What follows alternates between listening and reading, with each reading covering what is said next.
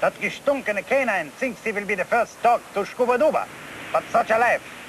Ha ha ha.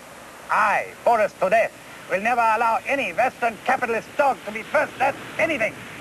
My plan to fix his flea collar and Scuba-Duba in his place will bring me great personal fame and glory, oh boy.